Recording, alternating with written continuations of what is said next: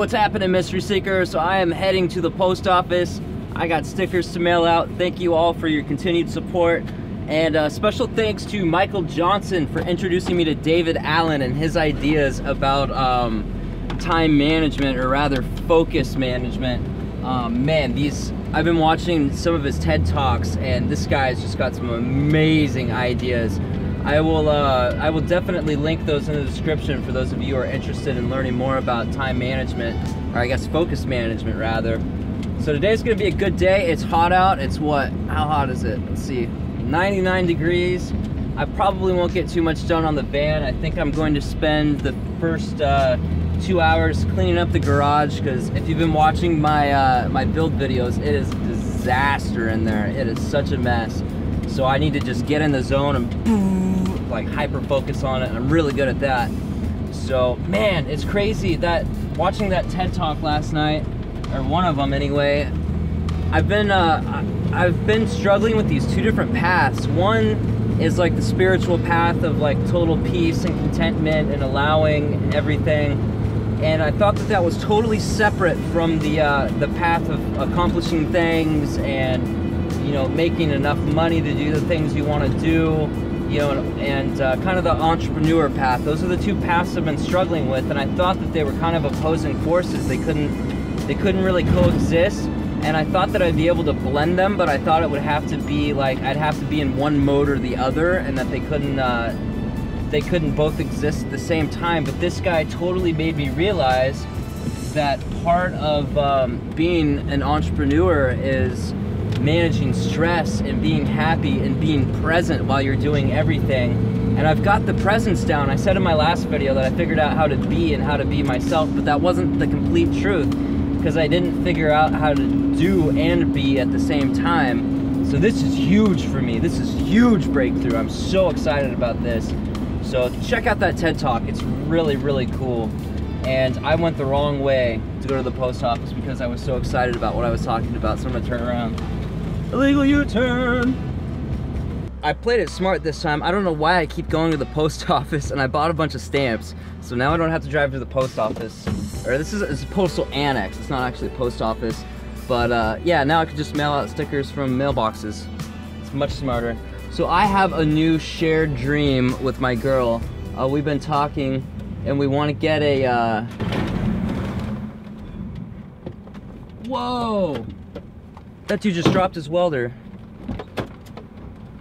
So this battery charger just fell out of the back of this guy's truck. I think I'm gonna stay here for a few minutes and see if he comes back for it. Man, I don't, I wish I would've gotten a picture of his license plate or something.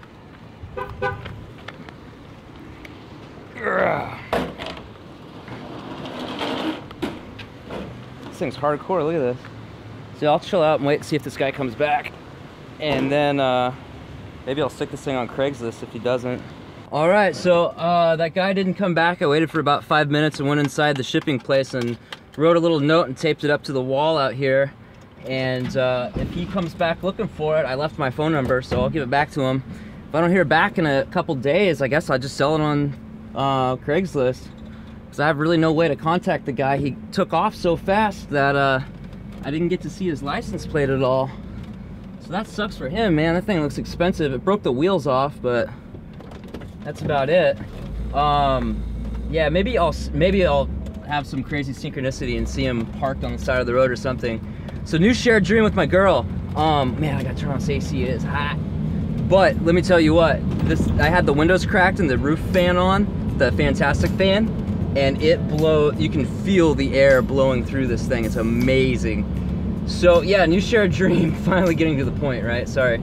Um, we want to get a badass um, uh, word expedition vehicle, like a Unimog, like one of those big badass like military trucks that has like a super intense like badass RV body on the back. They can go absolutely anywhere and uh, travel the world in that, just have it shipped around continent to continent. You know, explore the Australian bush and explore, uh, I'm looking out for that truck as I drive, explore like Africa and Asia and South America, you know, all these badass places. Uh, these vehicles are just so tough and so intense and so incredible off-road. They go absolutely anywhere and they're, they're designed to be live completely off-grid for like months at a time.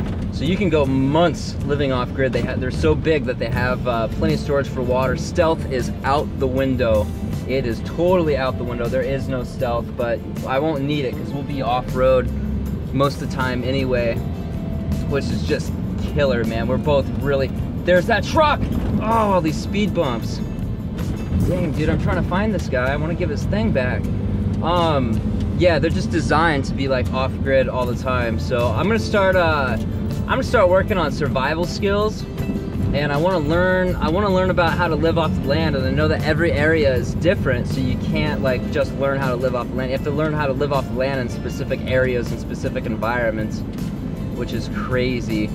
Um, but yeah I want to start working on that. I want to start camping a lot more and getting used to being in the wilderness but we're both really psyched about this really pumped about it. It's it's gonna be amazing well Hopefully he goes back to that uh, parking lot and sees that sign I left him. That sucks, man. That thing looks expensive. That really sucks for him. But yeah, so that's that's my dream. The sailboat thing is, um, the purpose of that was to be able to travel the world.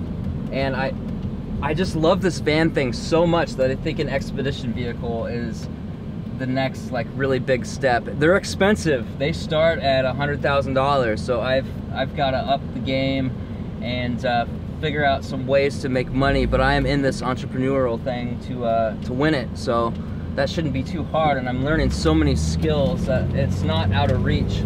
It may seem like it right now because I'm struggling to have enough gas and stuff to be able to travel in this little Astro van, but it's not out of reach. So I'm gonna use that Dream Planner thing and I'm gonna break it down into, into steps and eventually get there. Who knows Woo, how long it'll take, but we'll see. You'll see. You guys will all see.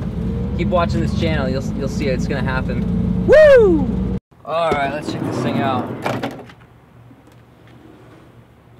This is like an industrial battery charger, man. Crazy. Actually, well, this wheel is a little broken. This one's not, the rubber just came off. I got the other rubber piece though. Yeah, this thing looks expensive, man. Jeez. Hopefully the guy calls me and uh, comes and picks it up. I, it sucks to lose this thing. It looks really expensive. I'm gonna go look it up and see what it's worth, but if he doesn't, I guess uh, sell it on Craigslist, like I said. So I'm gonna clean up the solar panel because I realized that my battery wasn't fully charged. Usually, oh, now it is. That's because I've been running it though. Usually when I leave it out in the sun just for a couple hours, it fully charges the battery. So I'm gonna clean up the solar panel real quick. I'll show you how to do that. So what I use for cleaning windows is this invisible glass. This stuff leaves no streaks and uh, it just cleans up glass really well. What I do is I spray it down and I wipe it off with this paper towel and then I crinkle up some newspaper and dry it off with that. I, I found that that leaves a really nice um, finished finish to it. And I mounted this uh, this solar panel in such a way that I could easily clean it from the uh, from the inside of the van. Now because it's so hot out here, this is gonna dry really fast. So I gotta hurry. So just wipe it down light pressure, don't push it in because there's lots of dirt and stuff on here.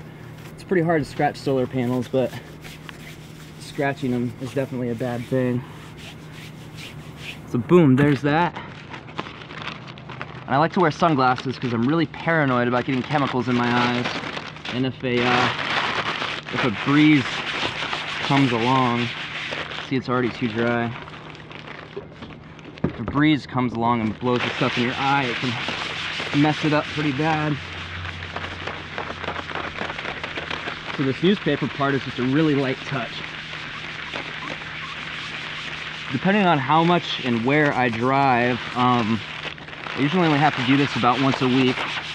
But when this thing's totally clean, it definitely makes a big difference. So right now I'm extremely slowly heading to the Walmart. It's uh, the start of rush hour and there's construction out here, so it's going really slow. Um, but I need to get double-sided sticky tape for the LED strip lights. I need to get uh, some kind of L bracket or some kind of bracket to mount the cigarette cigarette lighter adapter and USB port triple thing that I have. And I need to get a curtain for the back, for the back two windows. And then those will be set. I'll probably actually like install and do those tomorrow, but I might later tonight when it cools off. Um, and then I wanna I wanna put like just like a good solid hour, maybe two hours, but I'm I'm committing to an hour of just solid working on that garage, cleaning that thing out, because it is just a disaster, and I gotta have that done before I take off. So getting a jump start on that is, is really good. And then it's pretty much just cleaning up the wires in this thing and packing. I still gotta do the floor in the front area. I gotta pull the seats out and put that in. And uh, this van's pretty close to being done. I was just looking at some of the shots from earlier uh, before I took off. And man, a lot of them I was like out of frame. I was like, I gotta get that 70D, man. And it's not just for the flip out screen, it's also the autofocus system that they have is incredible. You can actually leave it on continuous autofocus so you can move back and forth and closer to the camera and it'll perfectly follow you. Canon has that dual pixel, dual pixel autofocus system that's just unreal. Plus they have Magic Lantern, which when I can see the screen and I can see that it's recording, I can see that I'm in frame, I can see I'm in the right position in the frame, and I can see my volume levels and know that my volume is one, that my mic is even on, and two, what my volume levels are.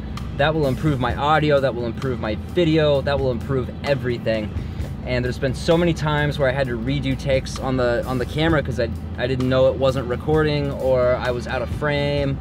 And a lot of times I only have like one shot to get to get the shot. Like it's not uh it's not like I always have. I'm always able to redo it a bunch of times because it was out of focus or uh, I wasn't in frame. Come on, dude. You're eating your pizza. Light's been green for a while. Um, I do have road rage, by the way. And Oregon people, it's strange, dude. Like on the East Coast, as second that light turns green, everybody's honking, come on, jackass! You know, all this stuff. But in Oregon, people just poke around, man. It's like, what is going on? It's so strange. Oregon drivers are a different breed, man.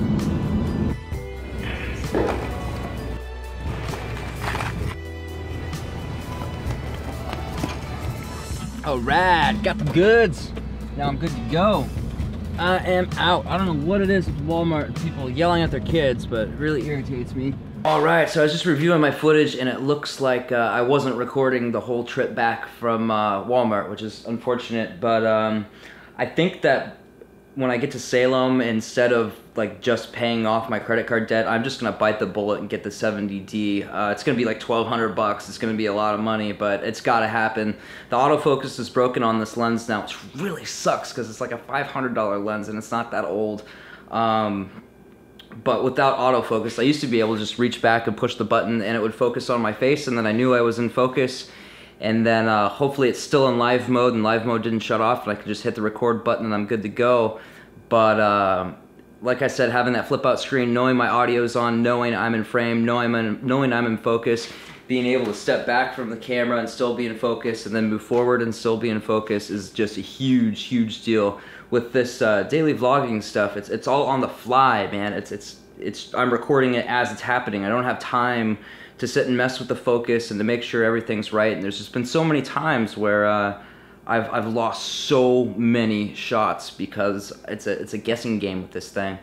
Uh, the video quality when it's in focus and everything is phenomenal on this camera though. I love this camera. It's great for photography. I'm definitely keeping it for photography and a B cam for uh, for the tours. Having two cameras also step step up my tours quite a bit too. So this situation is where I'm at now. Um, most of the stuff is not mine. My stuff's all like on the in the front and on the top of everything. So I think what I'm gonna do tonight is break down my stuff and get all of my stuff in a pile and go through what I need to throw away, what I what I can donate, what I can keep, and uh, just just get it all separated that way. And I'm just gonna do that tonight. I'm gonna do the whole thing right now. So I got a new patron, uh, Lady Ember. Thank you so, so, so much. Your support is so appreciated. So I will see you guys tomorrow with a video all about something very specific to do with starting and um, excelling with the YouTube channel. So love yourself.